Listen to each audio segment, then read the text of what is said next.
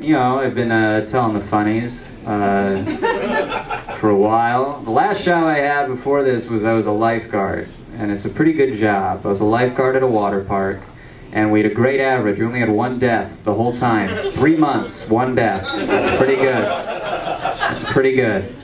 It was a heart attack. It wasn't our fault, you know. Guy died of a heart attack at the top of a water slide, and that is not funny.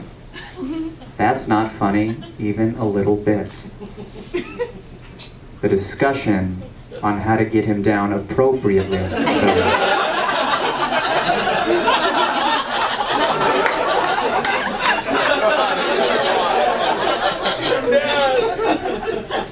No, put yourself there. That's a lot of steps.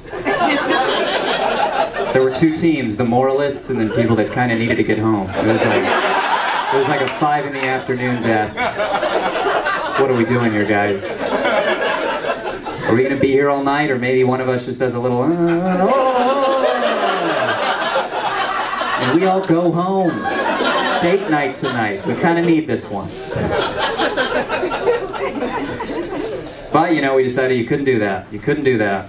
It was a double slide. He was a single rider. Rules, all rules.